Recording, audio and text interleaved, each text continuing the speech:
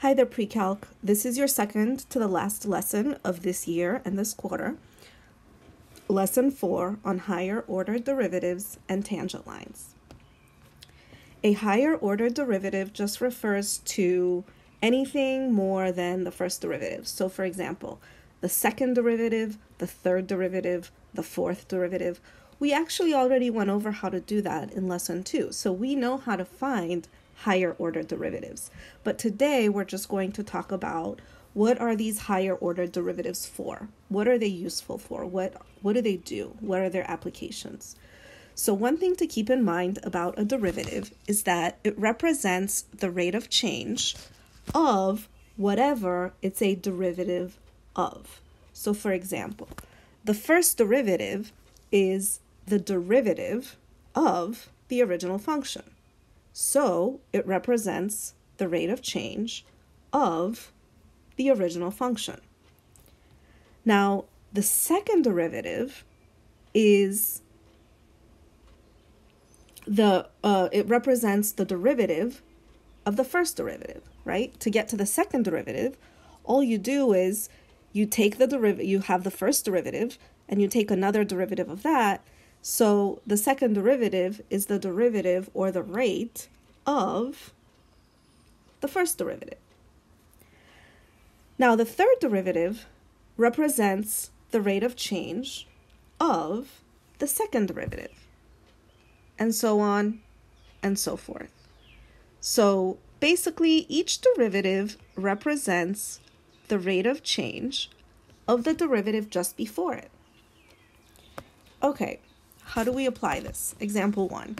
We start out with f of x equals x to the fourth. Part A wants us to find all of the derivatives until the first one is 0. How many does it take? So let's see. Well, f prime, we're using the power rule to do the derivative. Remember, there's different rules, but this is the one that you're going to use for polynomials. And the only one we're going to do this year. The other ones you guys will do next year. So the 4 comes down and you subtract 1 from the exponent, so it becomes 4x to the 3. So that's your f prime. That's your first order derivative, the first derivative. Now, the second derivative, which is, by the way, a higher order, meaning more than 1, the second derivative, you bring the 3 down, so 3 times 4 is 12, and then subtract 1 from the power, you get x squared. Then you can go on to the third derivative. So for that one, you bring the 2 down. So 2 times 12, that's 24x to the 1. But you don't need to write the 1, even though you could if you wanted to. Um, so bring the power down, multiply, and then subtract 1 from the exponent. That's what the power rule tells us. Now when we start to do the fourth derivative, I'm just going to write a little 4. I'm not going to do 4 dashes, it's too much. So I bring the 1 down and I say, okay, 1 times 24 is 24. And then technically it's x to the 0, but remember, x to the 0 is 1, so you don't actually need to write it. So think about like think about it this way, like 1x quote unquote drops each time. So basically there's one less x every time. So the when you had 1x, like now there's no x left at all because the 1x is gone. And then there actually is a fifth derivative as well. And if you try to do the fifth derivative, remember the derivative of any number is zero. And so if you were to try to do like, if you were to try to bring this x to the zero down, that zero times 24 would be zero, and then zero times anything is zero, so the fifth derivative would be zero. Now, technically, you could keep going. You could do the sixth derivative. Like, you could keep going with all the derivatives. They would just be zero from this point forward. So if I asked you what's the seventh derivative, what's the tenth derivative, you would say equal to zero. You wouldn't say it doesn't exist because it does. The derivative is zero. Um, you would just say the derivative is zero. So how many derivatives does it take to get to zero? Five of them. Five derivatives to get to zero. Okay, so now we are going to use um, this information up here to, to answer these questions. Is f of x increasing, decreasing, or neither at x equals negative 1? So the question is, which one of these derivatives do we use if we're looking at f of x?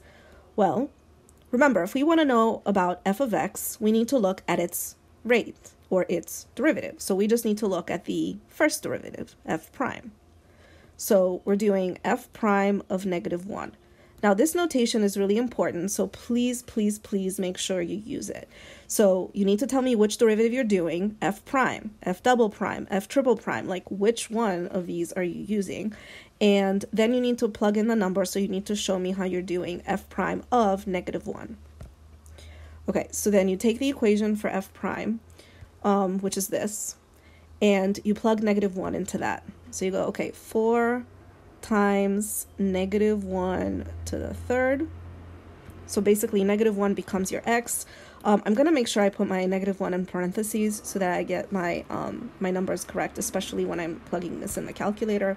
So negative 1 to the third is negative 1, and then times 4 is negative 4. So what does that mean? It means that f of x is decreasing because this is a negative number. If this was a positive number, I would say increasing. So basically, I'm going to justify is negative. So if it says, you know, justify, this is what you need to do. Negative 4 is negative, obviously. Therefore, or I could just say the word so, so I save some time. So f of x is decreasing.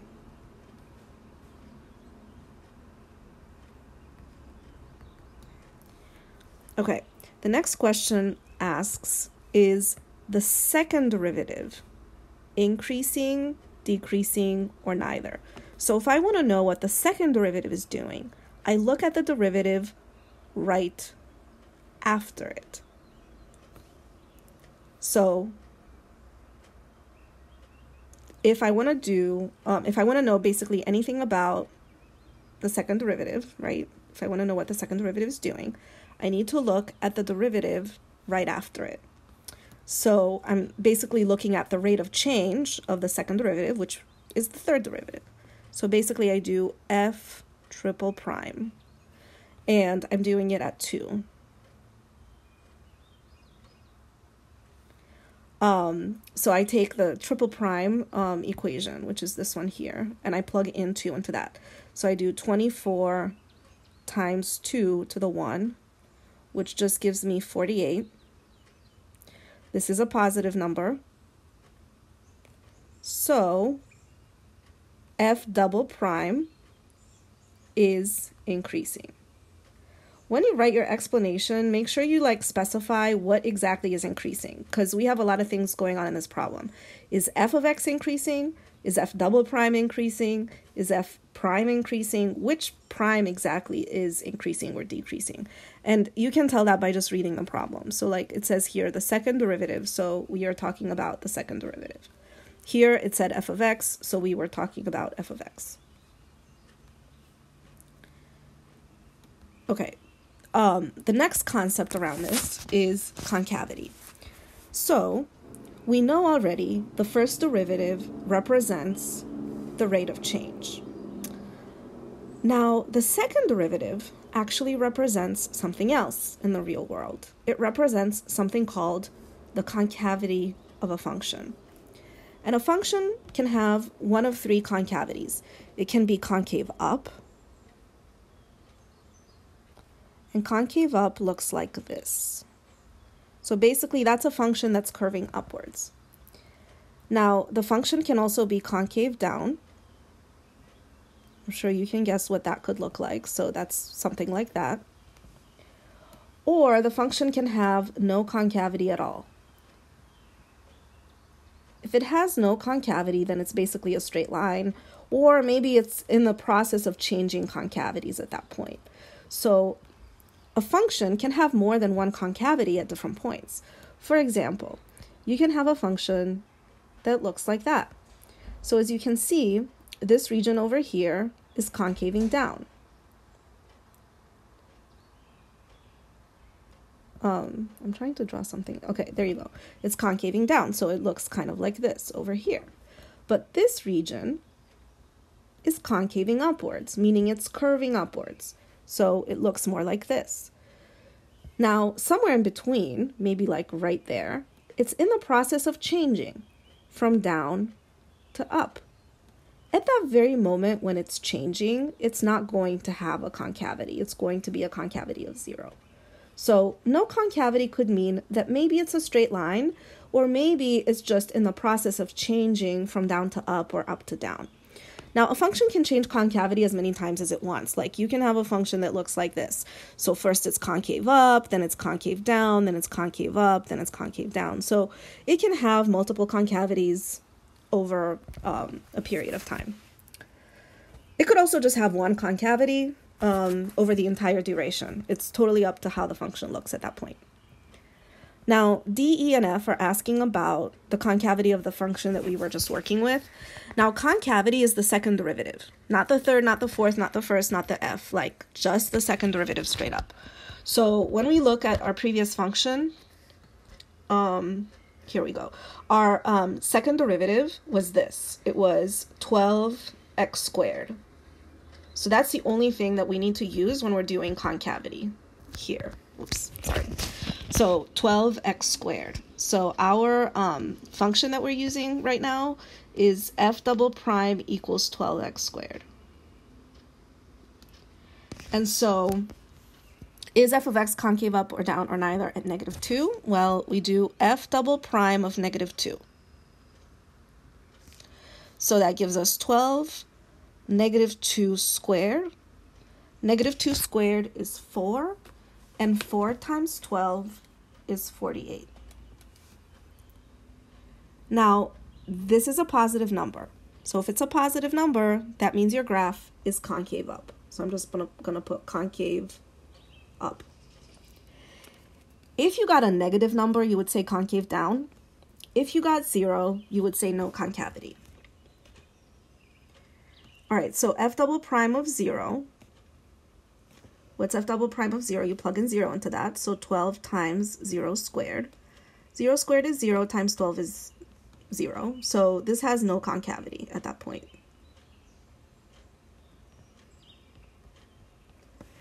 And then at 2,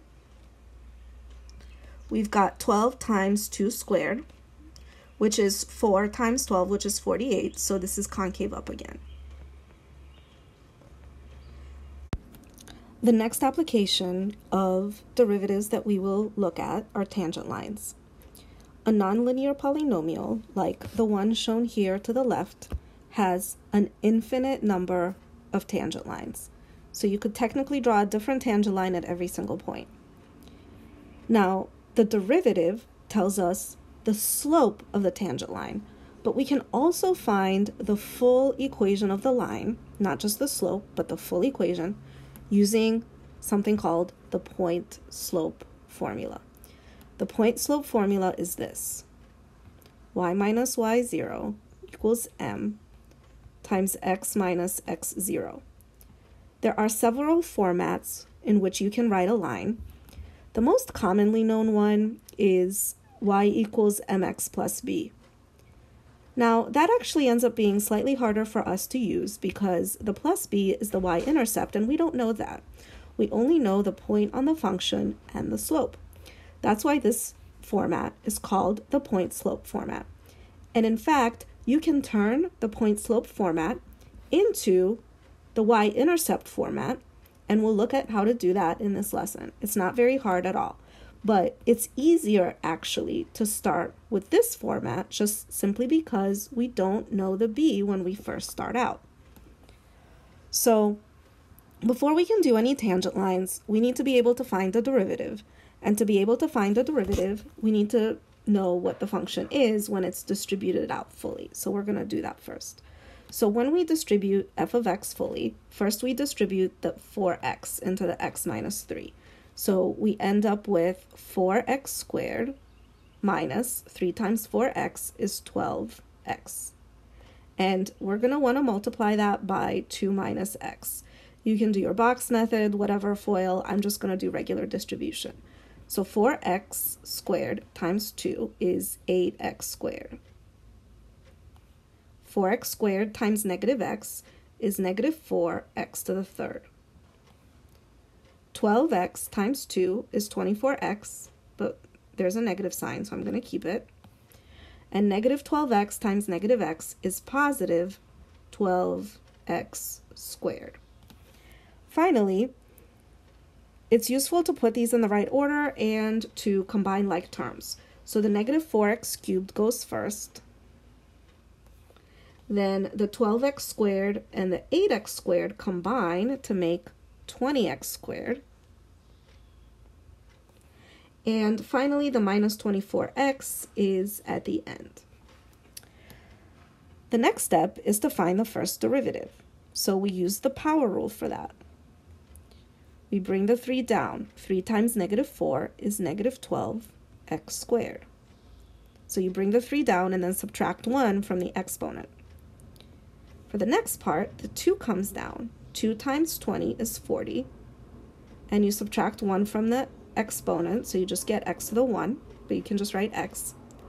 And then over here, this is like an x to the 1, so the 1 comes down, you get negative 24. And when you do x to the 0, because you subtract 1 from the exponent, you don't need to write x to the 0. So you can just leave it as minus 24. So now we have an equation for the f of x. This represents the y value. So remember that. That's how we're going to find the y naught, or the y 0. The f prime represents the slope. So when we look at this formula here, the m is represented by the f prime. So basically, your y0 is the f, and your m is your f prime. The x0 will always be given to you in the problem. So, part C, find an equation for the tangent line at x equals 0. For the equation for the tangent line, which you still have on your paper, but I don't, so I'm going to write it up here, you basically need three things. You need the x sub 0, the y sub 0, and the m. Well, the x sub 0 is given to us. So the x sub 0 is 0. The y sub 0 is the f value. So remember, the y0 is the f value. So y sub 0 is just f of 0. Now, when we do f of 0, we can use either equation. It doesn't matter. You can use the one that was like right there, or you can use the one here. It really does not matter at all. You should get the same answer when you do it. And in fact, you see that when you plug in 0 into this, you just get 0. When you plug in 0 into that, 4 times 0 times blah, blah, blah is still 0. So basically, your f of 0 is 0.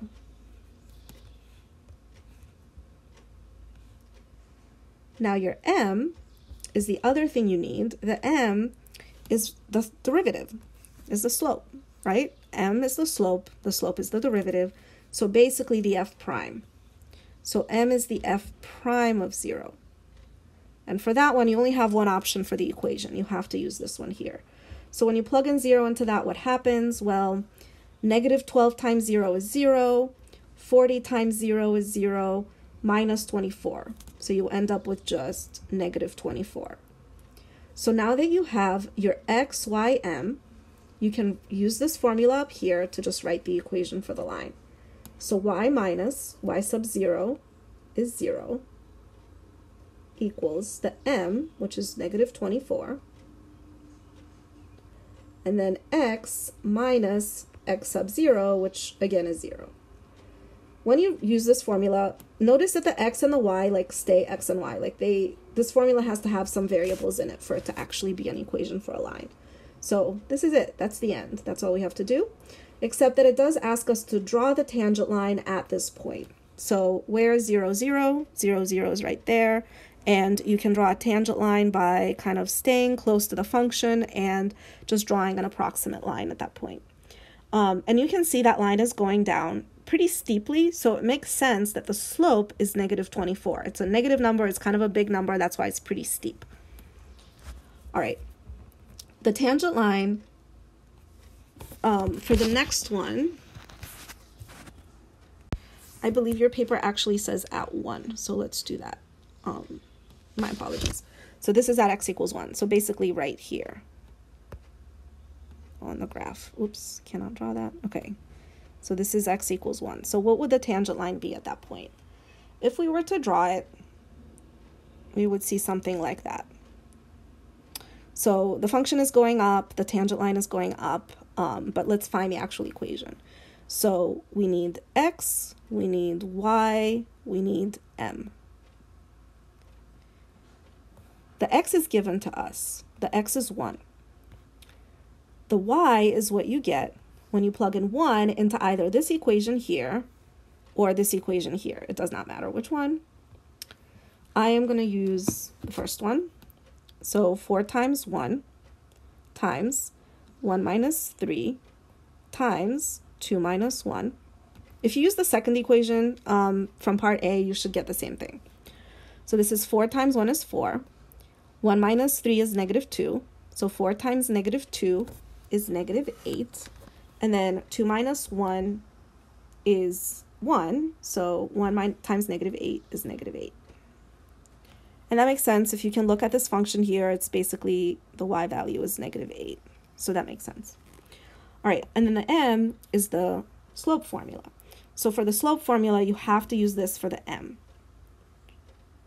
So we use the f prime, basically. The m is the f prime. So we do negative 12 times 1 squared plus 40 times 1 minus 24. So you can use the calculator for that. It's fine. Um, so you get negative 12 plus 40 minus 24 and you should get 4. So your slope is 4. And that makes sense. This is going up, right? So the slope should be a positive number. It's not too steep, so it should be, you know, something reasonable like a 4. And then you can write that in this format up here to do the full equation for the full line. So y minus the y value, which is negative 8, equals m, which is 4, times x minus the x value, which is 1. Obviously, you can simplify that and make it y plus 8 because double negative means positive. So 4 times x minus 1. And this is the more simplified format. So you're plugging it into this equation up here. Uh, you're plugging in the y, the y0, the x0, and the m. And then the rest of it, you just literally follow that pattern. Now, I told you before that it's easy to convert from the point slope, which is this format, to y equals mx plus b format.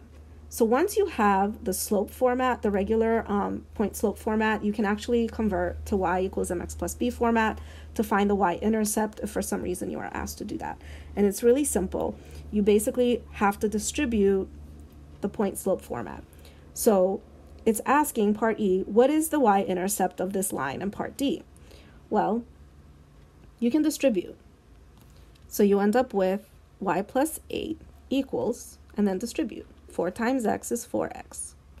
4 times negative 1 is negative 4. Then you solve for the y. So you want to do minus 8 on both sides. So you get y equals 4x, and then negative 4 minus 8 is negative 12. Ta-da! This is mx plus b. The m is 4. The m is the number in front of the x, and the m is the slope. And that makes sense. This is 4. It should be 4. It should still be 4. But now we also know the b. And remember, the b represents the y-intercept. So the y-intercept here is negative 12. You should count the negative in front of this number. If there's a negative here, that's part of the b. So the y-intercept is negative 12. Okay, we're going to do one more example, and this time we're going to do it at 3.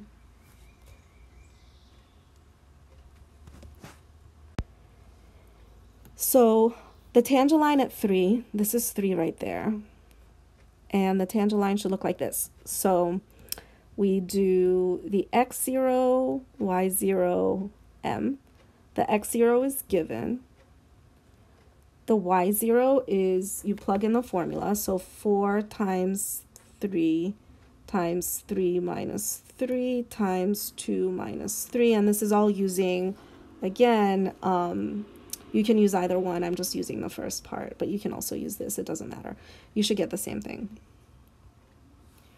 Okay, so when I do that, this is a 12 times 0 times negative 1, which is going to give me 0. And that makes sense because look, this is the y at that point. The y is 0. It's, it's not up and down at all. Now the m, you have to use the f prime formula. So again, going back, this is the m formula. So the m is the slope always and forever is the f prime. So whenever you're finding the m, use the f prime. So this is f prime at 3. And we are going to plug in the 3 into that equation. So negative 12 times 3 squared plus 40 times 3 minus 24. And feel free to use your calculator here. So you have your 3 squared, which is 9, times negative 12 so that would be negative 108 for this first part. And then plus uh, 40 times 3 is 120. So negative 108 plus 120. And then minus 24 is negative 12. So the slope is negative 12, which makes sense, right? It's going down, it's relatively steep. Um, and so because it's going down, I know the slope has to be negative. And I write the full formula. So y minus 0 equals m negative 12 x minus the x value here. Once again, I am just following the pattern y minus y0 equals m times x minus x0. And for the last part of this problem, I am going to find the y-intercept. And the way to find the y-intercept again is to distribute this out. So y minus 0 equals negative 12x. Negative 12 times negative 3 is positive 36. And technically the minus 0 like doesn't matter. So the y is just negative 12x plus 36. This is mx plus b format. The m is negative 12 is the slope, which makes sense because that's what it was before and the b is the y-intercept, so the y-intercept in this problem is equal to 36. All right, that's a lot. Let us know if you have any questions. Um, and if you do the problem set, it follows um, these examples. So follow the examples when you're doing your problem set.